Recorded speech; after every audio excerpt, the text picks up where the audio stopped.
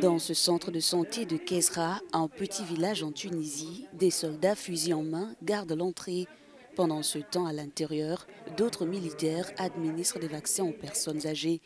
La Tunisie a décidé de faire appel aux forces de défense pour tenter de stopper la propagation du virus. J'ai été convoqué à deux reprises dans la ville de Maktar pour le vaccin. J'ai refusé d'y aller. Mais lorsque j'ai appris l'arrivée de l'armée ici, j'ai décidé de venir pour le vaccin. Depuis le début de cette campagne, les militaires ont déjà vacciné près de 3000 personnes dans les régions de Siliana et Tataouine.